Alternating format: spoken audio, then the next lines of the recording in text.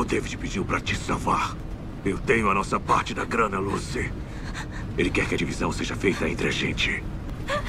Se eu voltar agora, ele vai ter morrido em vão. Me desculpa por não poder te levar pra lua, Lucy.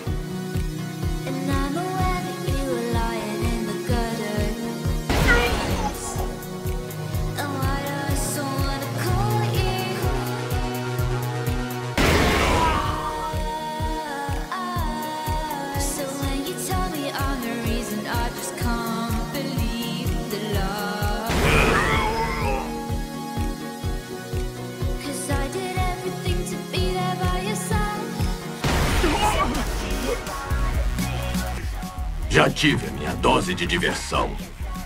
Mas é uma pena você morrer assim, garoto, porque você teria dado um excelente androide. Mas eu tô cagando pra essa merda toda. Muito bem. Adeus, garoto.